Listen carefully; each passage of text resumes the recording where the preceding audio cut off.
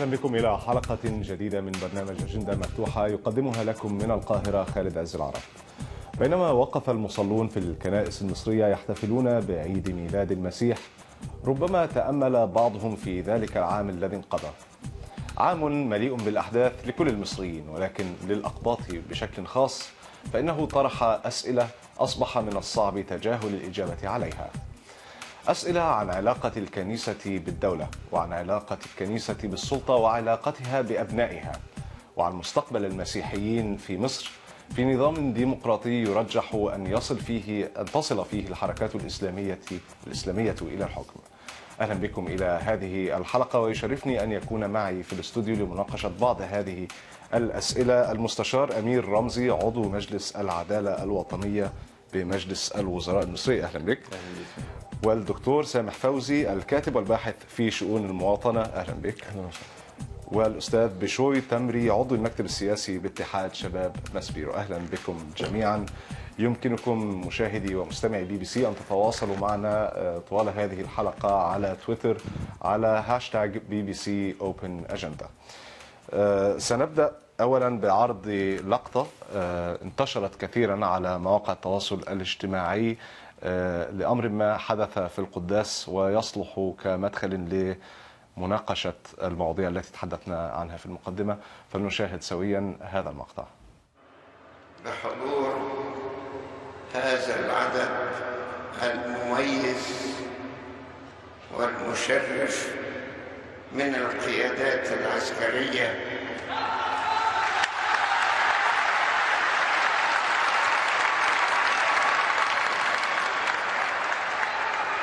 هذه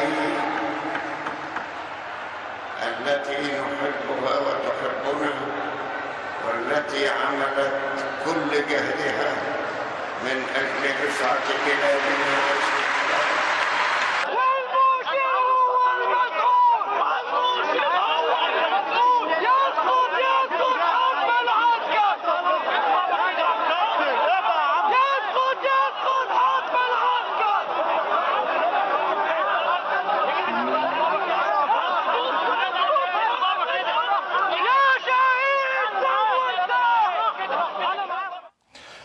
البابا شنودة بطريرك الكرازة المرقصية في قداس عيد الميلاد وهو يوجه الشكر لأعضاء المجلس العسكري الذين حضروا إلى قداس. ثم هتافات تطالب بسقوط حكم العسكر ربما تعرفتم فيها على بشوي بنفس القبعة التي يرتديها الآن. بشوي البعض رأى فيما فعلتم رسالة عدم احترام للبابا شنودة. من حق أي حد يشوف ان كان ده عدم احترام لكن آه الأحق بالاحترام في الأمور الحالية في الوقت الحالي اللي إحنا بنعدي بيه هو دم شهداء لسه ما بردش وأنا أعتقد إنه الدم والروح والحق آه يفوق احترام أي بشر آه على الأرض. والحق أهم من أي حاجة على الأقل ده اللي أنا حسيت وقتها. مع مع اعتبار إنه واحترام قداسة البابا شنودة وهو ال ال ال الأب الروحي للمسيحيين في مصر وكل الأرثوذكس الاقباط في العالم وتقديرا لمسيرته داخل الكنيسة وأنا أعتقد إن ده لا يشوب ولا يجي جنبه من أي حاجة لأن الرسالة ما كانتش موجهة للبابا شنودة لكنها كانت موجهة للنظام السياسي في مصر أو المجلس العسكري. طيب يعني أريد أن أسمع منك تعليقك على بعض ما هذا المقطع طبعا أثار كثير من التعليقات على مواقع التواصل الاجتماعي وهناك من أيدكم وهناك من عارضكم ممن عرضوكم كتب أحدهم يقول حبوا اعدائكم باركوا لعنيكم. أعتقد إنها آية من الكتاب المقدس وهي موجهة لمن يرى أنه لم كأنه كان على البابا شنودة ألا يوجه الشكر أو لا يستقبل أصلا أعضاء المجلس العسكري؟ الاعتراض هنا أنا مش بقول الب... يعني الاعتراض أنا مش بقول للبابا شنودة ما تحبش أو مش بقول للمسيحيين ما تحبوش لا لازم تنفذ وصية السيد المسيح وتحب أعدائك وتبارك لعنيك. ده مهم جدا لكن الرسالة هنا مش رسالة دينية ولا رسالة لأشخاص زي شخصية حمدي بدين لكنها رسالة موجهة لنظام نظام يتفق معاه يختلف معاه ملهاش تالت. إحنا اللي عايزين نقوله في أنتم كنتم ترفضون أصلا استقبال أعضاء المجلس العسكري في القداس أليس؟ بالمرة بالمرة والحق فوق فوق الحب والمحبه دي إنه يبقى في مراعاة لأهالي الشهداء أنا أنا ما أعرفش أهالي الشهداء في, في الوقت ده كان آه، موقفهم عامل إزاي أنا مش بقول للبابا شنودة يحب أو ما يحبش عندما تتحدث عن الشهداء من تعني بالضبط؟ سواء شهداء ماسبيرو آه، لم يحضر لم يتم دعوة منهم أحد أو شهداء الثورة المصرية من يوم آه، 28 يناير حتى أحداث مجلس الوزراء. يعني ال- الكنيسة إحنا اتعلمنا في تاريخ الكنيسة إنها كنيسة وطنية كنيسة مصرية وطنية. النهاردة الكنيسة بتنفصل عن الشعب وكأنها كنيسة آه، غير محلية وكنيسة لدولة أخرى. غير مرتبطة بالشعب بالمرة ولا تراعي أي مشاعر ولا اتجاهات للمواطنين وتحتفل. طيب نفس يعني نفس ما تقوله قاله أيضا بعض المعلقين آه، على مواقع التواصل الاجتماعي مرة أخرى آه، المستشار امين رمزي أريد أن أسمع آه، رأيك في هذا التعليق. قيادة الكنيسة الأرثوذكسية ليست هي الكنيسة الأرثوذكسية. الفجوة بين الاثنين تتسع أكثر كل يوم نفس ما يقوله بشوي. الكنيسة هي مينا دانيال. ولا بد ألا نسمح لسارقي الوطن أن يسرقوا الكنيسة أيضا. ما رأيك؟ هو إحنا لما بنيجي نتكلم عن الكنيسة وهي لغة الكنيسة حتى من الكتاب المقدس بيقول لك إن الكنيسة هي جماعة المؤمنين اللي هم الشعب نفسه. يعني الشعب اللي هم آه، آه، اللي بيذهبوا الكنيسة وكده. ليست الكنيسة هي المبنى الكنيسة فقط ولكن هي هذا آه، يعني الجموع ديت. لكن هل الكنيسة النهاردة فعلا هي منفصلة زي ما بشوي بيقول منفصلة عن الشعب ولا لا؟ آه، وهل قيادة الكنيسة آه، آه، يعني في مرحلة كده من عدم التوافق ما بينها وما بين الشعب في الفترة الحالية هو طبعا إحنا عندنا مشكلة. يعني في مشكلة موجودة في الكنيسة وديت آه، جزئية هامة جدا وأنا أعتقد إن يمكن كل الاقباط يعرفوا بكده وأعتقد إن المصريين عموما عندهم علم بهذه المشكلة آه، آه، مرض قداسة البابا عدم توافر الوقت الكافي لإدارة جميع أمور الكنيسة آه، آه، تفاقم المشاكل خاصة ما بعد الثورة لأن مع اختلاف النظام كان المفروض أن الكنيسة تتماشى مع النظام الجديد بال- باللي حصل. بل بالعكس كانت المفروض أنها تكون مؤهلة لهذا التغيير. يعني يعني كنا نحب نشوف التغيير ده يبتدي من الكنيسة قبل ما كان يحصل في مصر. ومش بنقصد التغيير إن يكون في حاجة بالنسبة لقداسة البابا. قداسة البابا بالنسبة لنا إحنا شخصيا كمسيحيين إحنا بنحبه وهو في منزلة القديس. يعني بالنسبة لنا إحنا بننظر ليه إن هو شخص روحاني شخص آه، ليه تاريخ عظيم جدا. ما شفناش منه حاجة وحشة. آه، إدارته للكنيسة على طوال فترة حتى لما كان متوفرة صحته آه، كان إدارة جيدة. طب من المسؤول اذا عن اتساع هذه الفجوة؟ اتساع الفجوة إن مكان إن النهارده في النظام الحالي اللي موجود في الكنيسة في لخبطة في لخبطة شديدة. تمام؟ في عدم آه، آه، آه، أنا أنا موافق جدا على الكلمة اللي ممكن تقول إن عدم التوافق ما بين القيادات الحالية أو تماشي القيادات الحالية مع الشعب في الوقت الحالي لا يعني في فجوة لكن موجودة. البابا شنودة بوصفه المسؤول الأول عن هذه القيادات هو المسؤول عن ذلك؟ شوف حضرتك أنا متأكد إن قداسة البابا لو كانت صحته النهارده تسمح. بإن هو يقدر يعالج الفجوة دي كان عالجها لكن أنا أرجع المشكلة ديت إن صحة قداسه البابا في الفترة الحالية يعني ربنا يديله الصحة آه، هي هي يعني ده سبب رئيسي لحدوث هذه الفجوة. طيب دكتور سامح هل تتفق مع هذا الرأي بأن هناك فجوة بين قيادة الكنيسة وبين أبناء الكنيسة؟ وإذا كنت تتفق مع ذلك فمنذ متى؟ هل هو أمر طارئ بعد الثورة أم قبل ذلك؟ أنا عايز أقول لحضرتك على حاجة. خلينا يعني أنا عايز أشوف الموضوع من منظور تاني. آه، انت النهارده بتتكلم على تغير جذري وقع في المجتمع المصري وأصاب كل مؤسساته. وما يحدث في الكنيسة إنما يحدث في مؤسسات أخرى على أصعدة مختلفة سواء كانت مؤسسات دينية أو مؤسسات مدنية أو مؤسسات سياسية على كافة الأصعدة. وده بيعبر عن حرك الاهتزاز الذي حدث في منظومة هذا النظام ككل ليس هذا فحسب ولكن أيضا ودي ال- ال- النقطة الأساسية والمهمة هي تراجع السلطة الأبوية في أماكن كثيرة في المجتمع المصري.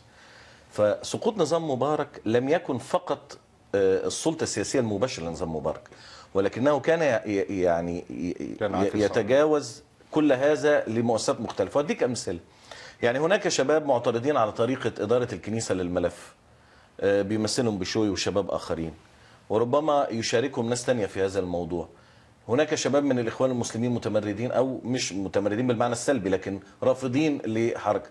هناك مجموعات سلفية رافضة لإدارة ال- المشهد السلفي. في كل مؤسسة هناك اعتصامات وهناك احتجاجات وهناك وجهات نظر. آه، داخل الأزهر نفسه حدث بعض ال- ال- ال- المشكلات والقضايا. إذا أنت بتتكلم عن منظومة بيعاد تشكيلها داخل المجتمع المصري لا تقوم على السلطة الأبوية ولكنها تقوم بصورة أو بأخرى على أنماط جديدة كل مؤسسة هتنتجها في المرحلة اللي جاية نتيجة تفاعلاتها. دي النقطة الأولى. النقطة الثانية بسرعة انت برضو بتتكلم عن علاقة الكنيسة بالدولة التي آه، تشكلت على مدار أربع أو خمس عقود أخيرة. يعني هي ممكن تبقى ممتدة أكتر من كده بس خلينا في سبيل التركيز. بنتكلم على على أقل من منتصف السبعينات. منتصف السبعينات أنت بتتكلم عن حدوث متغيرات اجتماعية وسياسية داخل المجتمع المصري أدت إلى رحلة عبور من اللقبات من المجال العام إلى المجال الكنسي. وتحولت الكنيسة هي المعبره عن اللقبات وتحول الصوت الكنسي والصوت القبطي وغابت القيادات المدنية وحتى غابت القيادات التكنوقراط اللي كنا بنشوفهم في الستينات في عهد عبد الناصر وغابت القيادات السياسية اللي كانت موجودة قبل الثورة. اذا أنت دلوقتي في مرحلة جديدة بيظهر فيها قيادات في المجتمع، قيادات بتحاول إن هي تعبر عن صوت ليس بصفتها اقباطا ولكن بصفتها مواطنين بالطراز الأول. أنا عجبني ملاحظة قالها بشوي هو بيصول ليس من أجل دماء شهداء مسبيرو ولكن من أجل دماء كل الشهداء على مدار العام الماضي. اذا أنت بتت- بتتحدث عن تشكل وعي وطني واجتماعي وسياسي لدى قطاع من الأقباط في هذه المرحلة. واضح وأنا يعني عطفا على كلام آه، سيادة المستشار واضح إن نمط القيادة الكنسية بحكم السن وبحكم ال- الاعتياد في التعامل مع نظام سياسي زي نظام مبارك يعني أخذ الأقباط رهائن عنده. يعني أنت برضو خلينا نك- نسمي الأمور بمسمياتها الحقيقية. كان الأقباط رهائن عند نظام مبارك. كان يرسل رسائل للأقباط أن التيار الإسلامي عايز يبتلعكم ويرسل رسائل للتيار الإسلامي أن الأقباط عايزين يكونوا دولة داخل الدولة. أنت كانوا بتتكلم عند نظام مبارك نظام مبارك؟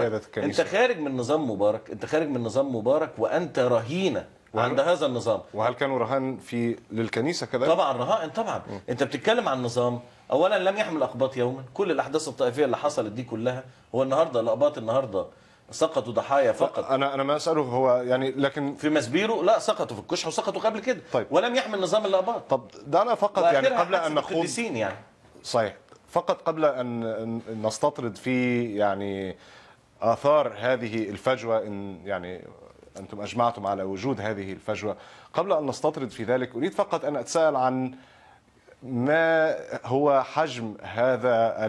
لا نريد أن نقول تمرد لكن هذا آه، آه، الإحساس بعدم الرضا عن أداء قيادة الكنيسه لأن ما يمكن أن نلاحظه في المقطع الذي شاهدناه هو أن الغالبية العظمى لمن كانوا في القداس لم يشاركوا في الهتاف.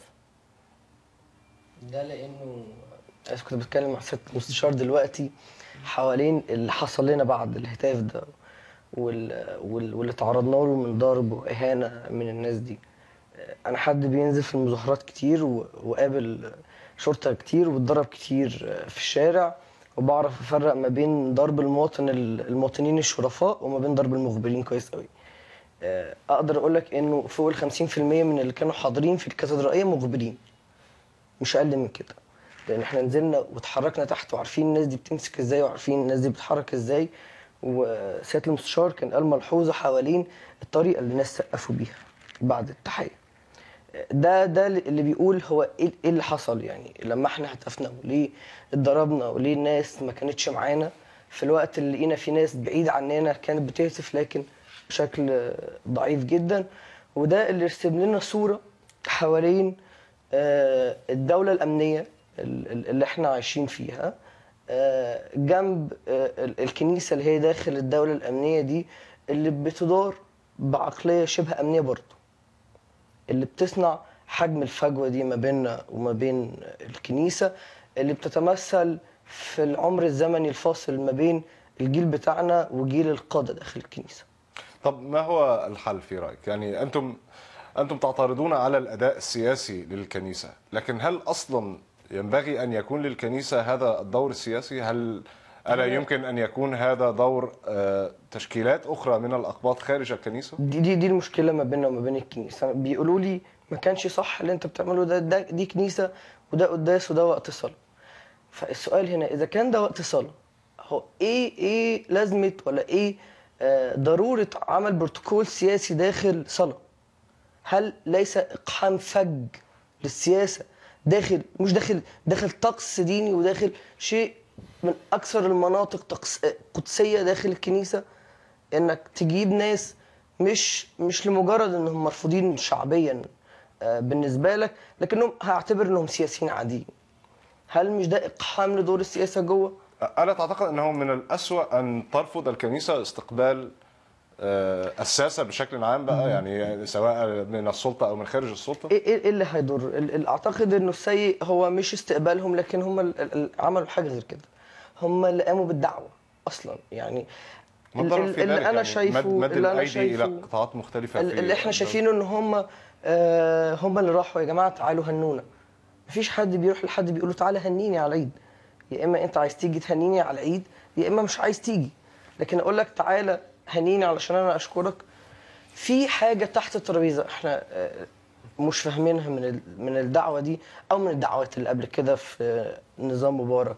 حوالين دور الكنيسة السياسي اللي بيهمش بالضرورة دور المدنيين. إذا كنا إحنا بنطالب إحنا إحنا كأباط نزلنا وفي ناس استشهدت من أجل الدولة المدنية. إذا كنا إحنا قدمنا شهداء. كاباط وكمصريين من أجل دولة مدنية يبقى أول من يخترق هذه ال ال ال ال الطلبات والحقوق هي الكنيسة؟ طيب هل هل هناك يعني هل هل تقاوم الكنيسة إذا إذا كان هناك اتفاق بأن هناك فجوة وبالتالي فإنه آه، من الحتمي أن يعني آه، ترى النور اتجاهات أو حركات سياسية أخرى ربما مثل اتحاد شباب ماسبيرو ربما تعبر عن الهموم القبطية لكن ليس من رحم الكنيسة. هل تعتقد أن الكنيسة ستقاوم هذا الاتجاه أو هل هي تقاوم بالفعل هذا الاتجاه أن يكون هناك ممثل سياسي للأقباط بعيد عن الكنيسة؟ هو قداسة البابا كذا مرة قال بأن آه، الكنيسة ما بتتدخلش في السياسة آه، لكن هو يمكن هي دي من وجهة نظره لكن هو فعليا لأن الكنيسة تمرست على مدار 40 سنة تقريبا وهي في تداخل ما بين الكنيسة والسياسة في أمور كثيرة جدا فمن الصعب إن في لحظة إن يتم آه، هذا النزع يعني ده أمر صعب لكن هو ما هل زال ستكون هناك مقاومة؟ أه، بشوي هل هل تجدون مقاومة من الكنيسة لنشاطكم؟ يعني آه، أعتقد إنها ترقى فوق المقاومة للحرب يعني آه، لأن هناك بعض القساوسة كذلك يشاركون معكم آه، في أنشطتكم. وكم الحرب اللي تقع على عاتق القساوسة دي والتهديدات بالفصل وال- والحرمان وإنهم هيروحوا الدير وكلام من من ده كتير آه، ليل نهار لماذا؟ لأنهم آه، الكنيسة بتقول يمين وإحنا بنعمل شمال. في السياسة يعني. أنا بقول يسقط يسقط حكم العسكر والكنيسة بتشكر العسكر. أنت تقول ذلك في الشارع. أنا أقول ذلك في الشارع. والكنيسة لا تريدك أن تقول ذلك في الشارع؟ آه لأنه. أنا أنا أنا معروف إن أنا بقول ده بصوت مسيحي. آه، اتحاد شباب ماسبيرو فيحسب بالتالي على فيحسب الكنيسة. على الكنيسة وإنه آه، هل هل هناك طريقه ولادكم للخروج ليه يعني؟ من من آه، من تلك الأزمة يعني؟ عدم التعليق أفضل حاجة يعني هم شافوا النهارده الشباب آه، بيتصرفوا إزاي أنا أفضل إن الكنيسة هنا ما تظهرش في الدور آه، الرعوي في هذه الأمور آه، ده أفضل ليهم بكتير من إن هو يحدث تداخل ويتم تعليق ويتم توجيه رسائل والكلام ده كله لأن هو النهارده لو الكنيسة شايفة إن هي محرجة آه، من التصرفات ديت من المظاهرات من المسيرات الكلام ده كله ترفع إيديها عنها وتقول أنا ماليش دعوة. ويبقى كل العلاقة منصبة على هؤلاء ال- اللي في المسيرة المتظاهرين. لكن إن أنا أبتدي أتعرض ليهم يعني قد يكون إن الجزئيه دي هي اللي بتسبب المشكلة. ده جانب. الجانب الثاني أنا بصراحة أنا كنت ذكرت حتى على قناة الجزيرة بأن أنا ما كنتش أحب ابدا إن الكنيسة توجه دعوة للمجلس العسكري. ولو كانت هي في مرحلة ان أو هي كانت مضطرة إنها تعمل كده آه، على أساس إن هي يعني المجلس العسكري هو السلطة الحالية موجودة في البلد والكنيسة هي مؤسسة وما ينفعش إن يحصل آه، آه، عدم تواصل ما بين الكنيسة والسلطة.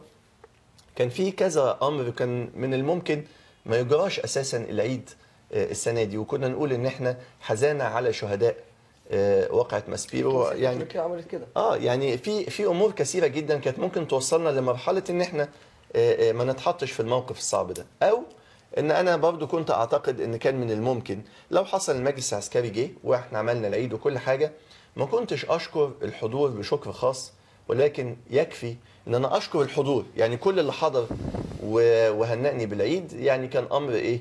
آه، إن أنا أشكره آه، على مجيئته. وليس ولا أخص المجلس العسكري ولا أخص كل الحاضرين بأسمائهم أو كده. لكن كان يكفي شكر الحضور كله لأن الحضور كله الشعب في حد ذاته ليس أقل أهمية من المجلس العسكري لكن قد يكون إن ده تم لأن من النظام السابق من زمان جدا وإحنا يعني أنا بحضر هل هل تعتقد أن هناك يعني خوف على مصالح ما قد تضر إذا كسر احتكار الكنيسة كممثل سياسي للأقباط؟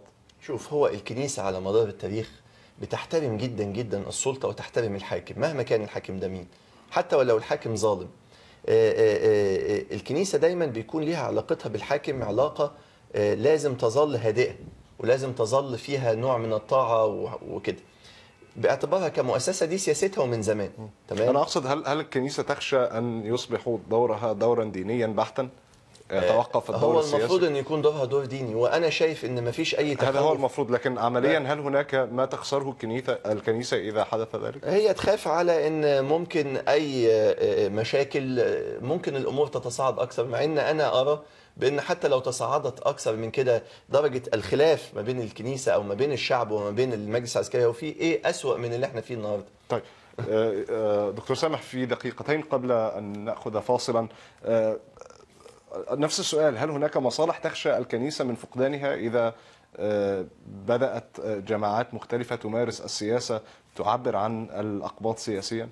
لا هو مش مصالح بالمعنى ده هو أنت بتتكلم على ترتيبات موجودة داخل علاقة ما بين مؤسسة دينية ونظام سياسي هي مستقرة على هذا النحو بقالها أربع عقود ولا زالت مستمرة ولا زالت تدار بنفس هذه الطريقة خلال الفترة الماضية اللي إحنا بنتكلم فيها على الثوره. انت النهارده عشان تعود المؤسسة الدينية في الشؤون الدينية فقط لابد من أن تتشكل طبقة سياسية قبطية وليست طبقة سياسية على أساس قبطي بالمناسبة، طبقة سياسية في مؤسسات ومنظمات وهياكل، عشان كده أنا بس كان عندي ملاحظة آه، للأستاذ بشوي يعني أنا أفهم طبعا إن إن إن مش من حق أي حد يمنع أي احتجاج سياسي موجود داخل المجتمع من حق الناس تعبر عن رأيها وتخرج. ما إحنا بنتكلم إزاي عن مصر بعد 25 يناير يعني؟ إذا كنا بنقول لا أنت تتكلم وأنت ما تتكلمش والناس كلها بتتكلم والناس كلها بتعبر عن رأيها. لكن أنا كنت أفضل ولا زلت أفضل مهما كانت حجم الضغوط الداخلية داخل هذا المجتمع أن يكون الوسائل التعبير عن المطالب القبطية وهي في مظالم حقيقي اجتماعية وفي تمييز ما حدش يقدر ينكره تكون في سياق مظلات سياسية. ده أوسع. عشان كده أنا مع كامل احترام الرجل الدين إحنا بنعمل الحاجة وعكسها. لما راجل دين يطلع في مظاهرة وبعدين بنقول الكنيسة تمنعه ما تمنعه لأن هو في النهاية هو عضو في هذه المؤسسة. أنا دلوقتي بنتكلم إما نريد حياة مدنية بمعنى أن المدنيين هم الذين يتصدوا للشأن العام وينتهي دور الكنيسة عند هذا المستوى. ولكن أن يأتي من رجال الكنيسة يبقى له رجل في الداخل ورجل في الخارج يبقى إحنا بنعيد إنتاج نفس الأفكار اللي إحنا بنقولها. يعني أنا عايز أبعد الكنيسة. خلاص يبقى أبعدها. هنا لناخذ فاصلا قصيرا ثم نعود بعد أن نستكمل الحوار. ابقوا معنا.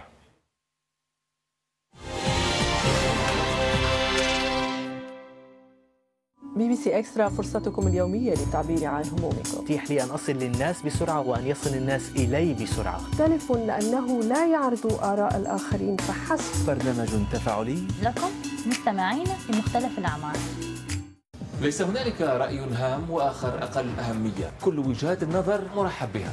وما قد يبدو لك رأيا غير راجح قد يكون في واقع الأمر. بداية نقاش مهم وغني. نقطة حوار على شاشة بي بي سي. عالمك. صورك. رؤيتك.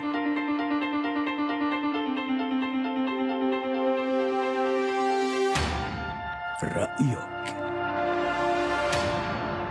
شاركنا عالمك وأفلامك عن الانتفاضات والثورات في بلدك.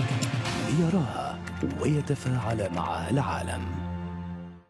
للحصول على خدمة الأخبار العاجلة على ال SMS ابعث رسالة نصية عليها بي بي سي اي لشركة الاتصالات الخاصة بك.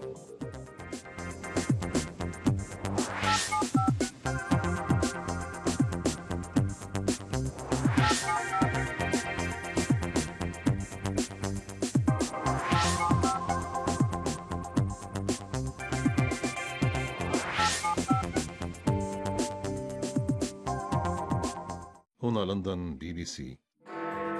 الثالثة في لندن أسعد الله صباحكم. مباشرة على الهواء أخبار السياسة والاقتصاد والمجتمع والرياضة. آراؤكم بأصواتكم.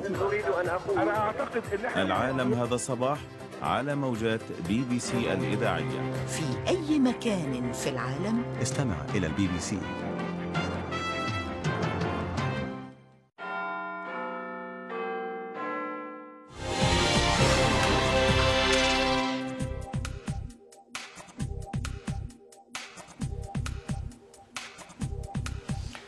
أهلا بكم من جديد مشاهدي ومستمعي بي بي سي إلى هذه الحلقة من أجندة مفتوحة نتحدث فيها عن الكنيسة المصرية بعد الثورة بعد عام من الثورة وعن علاقتها بالسلطة الحاكمة في مصر وعن قدرتها على تلبية مطالب أبنائها. انضم إلينا الآن القس سامح موريس راعي كنيسة قصر الدوبارة الإنجيلية. أهلا بك يا سيدي.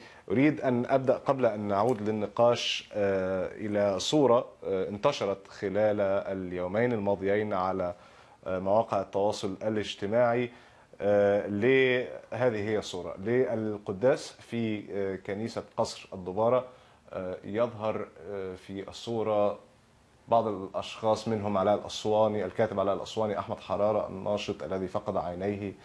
وبعض الإعلاميين. يظهر في النصف الآخر من الصورة بعض أعضاء المجلس العسكري في الاحتفالية وفي قداس الكنيسة الرئيسية الكاتدرائية في العباسية. والتعليق الذي كتب هو العباسية إشارة إلى الموقع الذي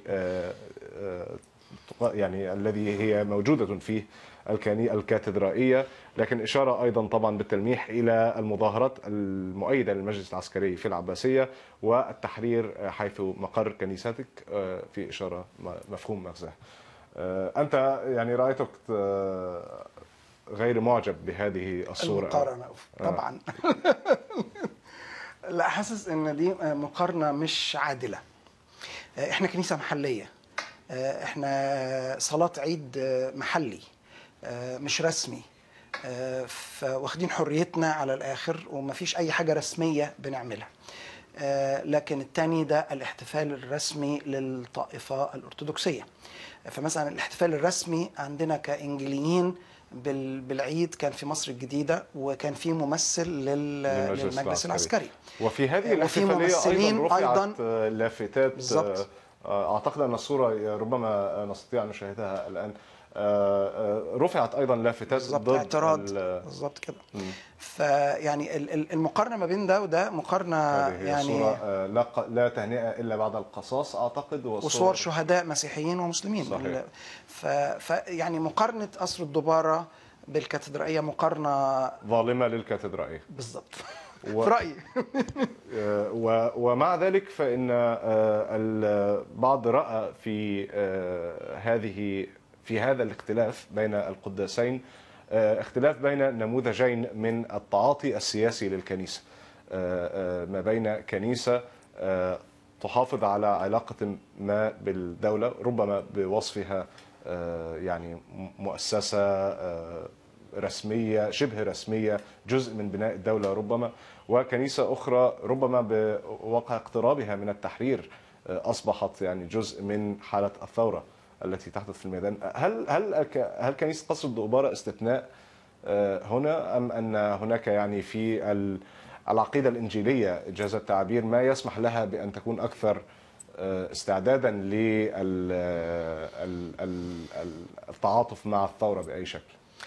يعني خليني أشرح الفكرة دي كده في كلمات قليلة. اولا إحنا كمسيحيين بوجه عام ايا كان أرثوذكسية أو إنجيلية أو أو أو كاثوليكية نؤمن بفصل الدين عن الدولة. وده تعليم واضح للسيد المسيح علمنا إياه. يعني أعطوا ما لقيصر لقيصر ما لله لله. مملكتي ليست من هذا العالم. لما أرادوا أن يتوجوا المسيح ملكا لأنه لقوه بقى بيعمل معجزات وبيطعم الجياع وبيحل كل المشاكل. فأنت رئيس دولة بيحل كل المشاكل بنفسه مش محتاج مساعدين. رفض لأنه فصل تماما بين علاقة الإنسان بربنا وعلاقة الإنسان بأخيه الإنسان على المستوى الإنساني والروحي وبين السياسة. لأن السياسة تسيير أمور الناس. هيختلف من دولة لدولة ومن حقبة زمنية لحقبة زمنية والنظم بتتغير آه، بكل أشكالها لغاية النهارده. بنتكلم عن دولة برلمانية ودولة رئاسية ودولة مختلطة. يعني يعني ومن إمبراطوريات إلى يعني ال- التاريخ يشهد أن السياسة ليست شيئا ثابتا عشان خاطر نقدر آه، نلصقه بالعلاقة الروحية. طب إحنا كلنا بنؤمن. حرارة لا تعتبر لا تعتبر لا تعتبر أن هذا آه، عملا سياسيا؟ اطلاقا. لا يعني أرجو ان نخلي بالنا من الحكاية دي. إحنا ككنيسة آه، بالذات قصر الدبارة آه، متورطة من سنوات طويلة في العمل الإنساني والاجتماعي. آه، نؤمن بأننا كنيسة بلا أسوار نؤمن أن الكنيسة ليست المبنى. الكنيسة هي الشعب. والمسيح دعانا أن نكون نور وملح في الأرض اللي موجودين فيها. فإحنا مثلا عندنا أكبر آه، مراكز لعلاج الإدمان في مصر. عندنا 20 مركز لعلاج المدمنين في مصر. عندنا 600 سرير لعلاج المدمنين في مصر. عندنا آه، برامج عندنا جمعية حقوق إنسان. تبع الكنيسة. بندافع عن حقوق الناس وكنا بندافع عن حقوق الإخوان المسلمين ال- ال- المقهورين والمسجونين. آه، مش بس الإخوان المسلمين والمسيحيين طبعا وغيرهم. فإحنا متورطين في العمل الإنساني وليس السياسي. أرجو الفصل ما بين الاثنين دول. فأحمد حرارة ده موقف إنساني. لما فتحنا مستشفى آه، لل- لل- للأحداث الأخيرة بتاعه آه، محمد محمود ومجلس الشعب بنعالج المصابين من الثوار وبنعالج الأمن المصاب وبنهربهم من يد الثوار لئلا يفتكوا بهم. آه، فأنا بتحرك على المستوى الإنساني اللي بيمليه عليا ضميري المسيحي ضميري المسيحي بينادي بالحرية فبنادي بالحرية. لكن لا أستخدم العنف. ولا القذف بالكلام ولا السب ولا أي حاجة كلمة نابيه أؤمن بالديمقراطية فبنادي بالديمقراطية. أؤمن بالمشاركة السياسية بس مش كمؤسسة دينية. فإحنا ككنيسة مثلا نقف مع حزب آه، لم نطبع آه، آه، أوراق معينة ونوزعها على الناس. يعني بنح- بنحافظ إن الكنيسة تبقى ضمير بينادي بمبادئ بياخد مواقف إنسانية مع مبادئ إلهية للمجتمع الإنساني وليست مواقف سياسية. بيتحسب علينا بقى كأننا يعني إننا بناخد مواقف سياسية؟ لا أنا مش باخد مواقف سياسية. أنا ما نزلتش في مظاهرة أنا شخصيا آه، كأسيس. أنا ما قدتش مظاهرة. إحنا الحاجة الوحيدة اللي عملناها مسيرة رأس السنة دي كانت مسيرة مشتركة بالشموع لمشاركة إخواتنا المسلمين للصلاة في الميدان مش لأي عمل سياسي. لما الناس هتفت في لكن الميدان أعتقد إن لم أكن مخطئا يعني آه، هذه المعلومة وردتني من أحد يعني أبناء الكنيسة. كنيسه قصر الدبارة أن آه، في أثناء الثورة يعني الأيام الأولى للثورة آه، كانت كان خدام الكنيسة يأتون بالمعدات الصوتية والميكروفونات إلى التحرير على الحقيقة مش حقيقي. إحنا في الأيام الاولى للثوره في يناير الكنيسه اغلقت لأن شوارعها كلها كانت محاطه باسلاك شائكه وبدبابات وبقوات امن. أنا ما كنتش بعرف اوصل ال ال ال المكتب بتاعي. الناس بتقول أنتوا فتحتوا مستشفى في الوقت ده. إحنا ما كناش نعرف نوصل للكنيسة عشان نفتح مستشفى. إحنا طالبنا العمال اللي موجودين جوه ال- الكنيسة انهم ياكلوا من الكانتين لأنه مش لاقيين خبز ياكلوه. فقلنا من فضلكم افتحوا الكانتين ووصلوه. فالناس برات بتقول حاجات يعني بتزايد. وكأنها بتمتدحنا إحنا لكنك ترفض أن يكون لرجل الدين دور سياسي. هذا أنا يعني بكل تأكيد. طيب. أنا أؤمن بفصل الدين عن الدولة كأمر كتابي إلهي. المسيح نفسه كان مثل وقدوة لنا فيه. طيب وهذا يصب في نفس السياق ما كنا نتحدث عنه عن آه، خروج آه، آه، حركات سياسية آه، خارج الكنيسة. خروج الأقباط إلى تظاهرات على سبيل المثال في الشارع بدلا من التظاهر داخل أسوار الكنيسة كما كان يحدث في السنوات الماضية وكما بدأ آه، الحال يتغير منذ عام على الأقل. آه، هذا الخروج هل يحمل طابعا طائفيا أم أنه قد يكرس أو يعني قد يساعد على انصهار الأقباط في العمل الوطني بشكل عام؟ شوف هو أصل الخروج ده أمر بقى أصبح مفروض. ليه؟ لأن النهارده طالما إن إحنا بنطالب بانفصال الكنيسة عن السياسة تمام؟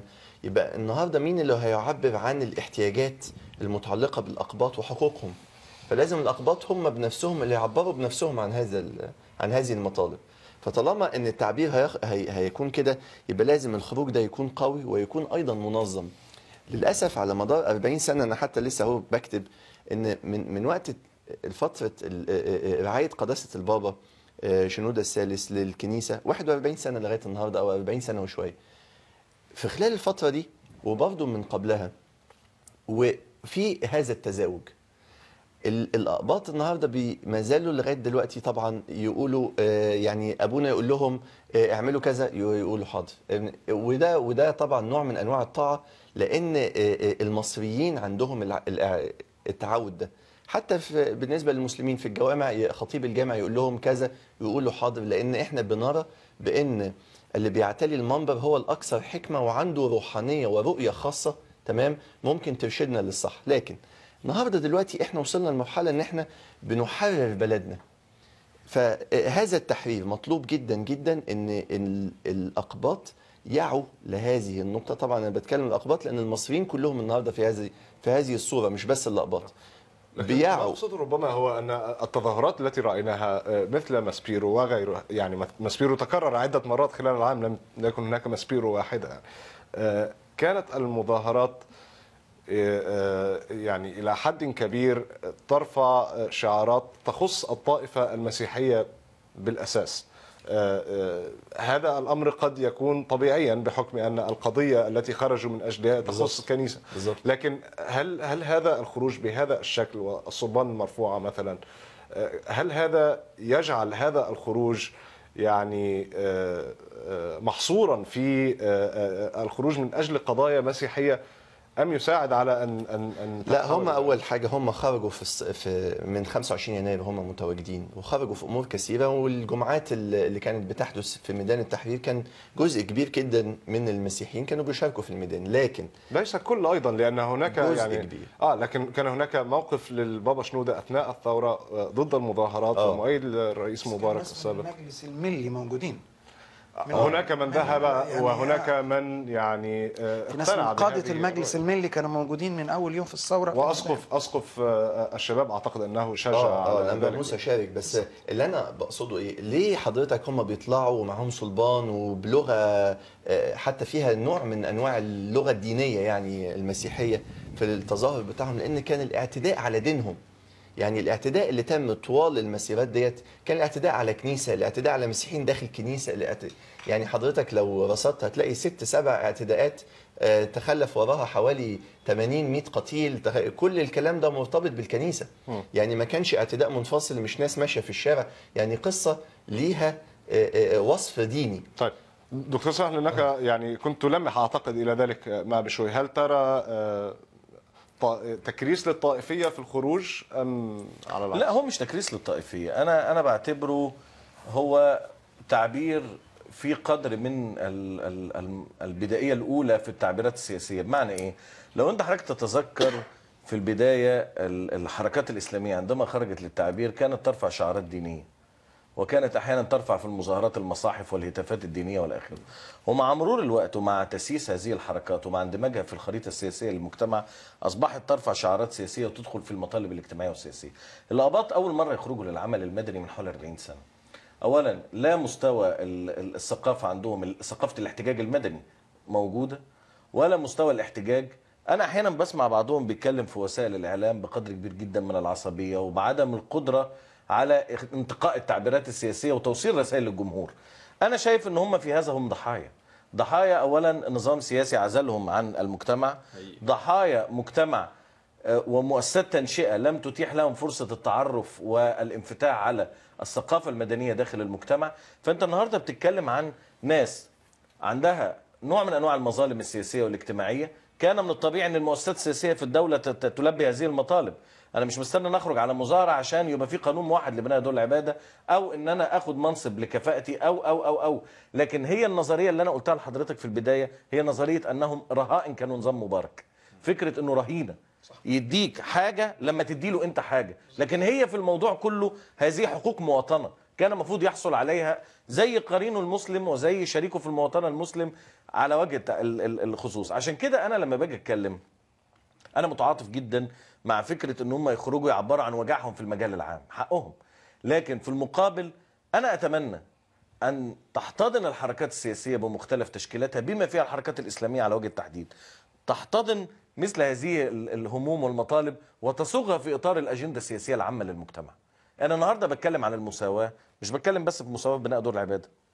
بتكلم على المساواه في المناصب. والمساواة بس مش الأباط اللي بيعانوا منها. عندك المرأة بتعاني منها وقطاعات كتير جدا بيعانوا منها. خلينا. وناس لا تحصل على حقوقها لاسباب اجتماعيه واقتصاديه بمعنى الفقر وغيره. اذا إحنا بنتكلم دلوقتي على منظومة متكاملة يتحقق من خلال هذا الموضوع وينخرط اللقبات في الحياة السياسيه هم دلوقتي بيعبروا وبيرفعوا صلبان وبيتكلموا أنا رأيي أنا رأيي إن دي تعبيرات غير ملائمة في المجال العام لو تيجي تسألني عن رأيي. لكن في المقابل أنا ما أقدرش ألومه على انخفاض ثقافته المدنية وهو لم يتح له أي فرصة للتعبير عن رأيه. كان يتظاهر في داخل الكنيسة قلت له لا ده أنت كده طائفة ظاهر في الشارع. خرج يتظاهر في الشارع مش قادر يعبر عن نفسه. يعني أنت برضو بتتحدث عن منظومة متكاملة في التعامل مع هذا الموضوع منظومة تتعلق بالتنشئة تتعلق بالدور السياسي. نقطة أخيرة. أنت النهارده بتتكلم بتقول لي الأباط يخرجوا يعبروا عن مطالبهم ويتكلموا وإن الكنيسة بتحتل الدور. أنا رأيي مع رأي القس سامح الكنيسة مالهاش علاقة بالسياسة. وهتكون مؤسسة دينية. إحنا مش مختلفين على ده. لكن هو النظام السياسي بيسمع لمين؟ يعني أنت النهارده بتتكلم عن نظام سياسي. نظام سياسي بمعنى أن له هيكلية معينة. أنا فاكر إن في أحد الندوات كانت في كلية اقتصاد أو جلسة يعني نقاشية مغلقة. وأثير في هذا الموضوع في اعقاب حادثة من الأحداث الطائفية ربما في نص التس... يعني يمكن 2005 حاجة بالمعنى ده. فقعدنا كنا بنتكلم فسألت أحد وجهاء الأقباط ال- ال- السقاء في الحياة العامة يعني. ربنا يديله الصحة يعني. فسألته قلت له هي الدولة سمعتك قبل كده؟ قال لي عمرها ما سمعتني. قلت له الدولة بتسمع لمين بتسمع للكنيسه بس طبعا. القضية إن الكنيسة اختزلت الاقباط في شخصها والدولة اختزلت الاقباط في شخص الكنيسة وأصبحت هي المعبرة عنه. أنت بتتكلم عن علاقة كفيل سياسي. عارف مفهوم الكفيل؟ بمعنى أنها هي كفيلة الاقباط وت- وترتب على ده إيه؟ إن توقر في ذهن الاقباط توقر في ذهن الاقباط إن هذا الكيان هو معبر عنه. الكنيسة ولماذا الدولة تعتقد أن هذا الترتيب أصبح غير صالح الآن للاستمرار؟ غير صالح لاهتزاز السلطة الأبوية اللي أنا قلت لك في الأول. غير صالح إن أنت في إطار دولة مدنية تشكلت فيها أحزاب سياسية وعايزين نبطل لع- لعبة لخبطة المؤسسات. أنت عندك لخبطة لا مؤسسات. لا أنا, أنا أفهم لماذا لا تريد أن يستمر لكن آه، السؤال هو لماذا تعتقد أنه س... لن يستمر؟ لن يستمر لسبب. هو السبب بنائي يعني ملهوش يعني مش لسبب فلسفي ولا حاجة لسبب يتعلق بالحركة على أرض الواقع. أنت النهارده لديك حراك غير مسبوق ولديك مجتمع مفتوح على مصراعيه سياسيا ولديك أحزاب وقوة وتشكيلات. مع مرور الوقت مع مرور الوقت الناس هتندمج في إطار مثل هذه التشكيلات وتندمج في إطار مثل هذه الأحزاب والقوى السياسية وتبدأ تحاول إن هي تتمترس أو أو تتلاقى حول قضايا سياسية واجتماعية وسياسية. وده سمة المجتمع الطبيعي. هياخد وقت هياخد وقت. وبمرور الوقت عندما تتشكل طبقة مدنية أو مجموعات مدنية قبطية تتصدر في المجال العام ويصبح صوتها أنا مبسوط النهارده في الانتخابات دي بالرغم إن بعض مظاهر ناس كتير جدا ربما تكون لديها بعض الملاحظات السلبية أو التشاؤم. لا أنا مبسوط. في هذه الانتخابات في هذه الانتخابات لأول مره لأول مرة منذ 52 لغاية النهارده يدخل مجموعة من اللقبات بالانتخاب للبرلمان. خمسة ستة سبعة ما أعرفش عددهم قد إيه لكن ده معناها إيه؟ معناها إن أنت بيتولد لديك قيادات بيطلع دلوقتي قيادات في المجال العام بشوي شاب صغير بكرة هينضج أكثر ويبقى قيادي في المجتمع غيره كتير مع مرور الوقت مع مرور الوقت مثل هذه القيادات هتتنفس في مؤسسات سياسية وتنتخب ويصبح لها دور وتتصدر مشهد سياسي وتبدأ تتكلم ويظهر طبقة إعلامية وطبقة مثقفة وإلى آخره فيصبح دلوقتي لديك مجتمع طبيعي وتتضاءل الدور السياسي للمؤسسه الدينية ده اللي كان موجود قبل 52 مش كان في طبقة في المجتمع الليبرالي طبقة سياسية. انت أسألك سؤال وانت دلوقتي قاعد دلوقتي. ما كانش أنا دلوقتي عايز أسألك سؤال. وصل السادة المشاهدين انت متذكر اسم البطاركه اللي كانوا موجودين قبل 52 مش متذكره. متذكر مين؟ متذكر مكرم عبيد؟ متذكر آه، آه، عيلة بطرس غالي يعني انت بتتذكر دول اولا يعني بعيدا عن الأرستقراطية القبطية لا دلوقتي بيطلع قيادات وبيطلع قيادات وسيطة ومن من طبقة وسطى وبتبدأ تتشكل المشهد. بمرور الوقت بمرور الوقت الحالة دي هتختفي قليلا قليلا. ومع يعني ومع آه، يعني آه، ترجيح كافة الإسلاميين آه، الجماعات الإسلامية آه، في الوصول إلى الحكم بطريق ديمقراطي في الانتخابات. هل هذا المسار مسار خروج المسيحيين من الكنيسة إلى آه، الحياة العامة آه، سياسيا. هل هو مرجح للاستمرار؟ ال- العمل العام العمل السياسي ما ينفعش يبقى المسيحيين فيه لوحدهم. يعني إحنا لما بنشجع اولادنا لما بنعمل تثقيف سياسي بنقول له السياسة معناه انت بتنزل الشارع. الشارع مسيحي ومسلم مع بعض. آه، عايز تنزل تطالب بحق ما تنزلش تطالب بحقك. طالب بحق الآخر. والآخر يطالب بحقك. كمسيحي طالب بحق المسلم فالمسلم يطالب بحقك فما تبقاش مسيحي ضد مسلم وإلا المجتمع يتقسم. لكن بالذات من وجهة نظرنا كمسيحيين أنا المحبة إني أدافع عن حق غيري الأنانية أني أدافع عن حقي. لو أنا كمسيحي دافعت عن حق أخويا المسلم يبقى أنا عبرت عن وطنية حقيقية لأن بدافع عن حق الغير. أنا بدافع عن الحرية أنا بدافع عن الكرامة أنا بدافع عن الآخر.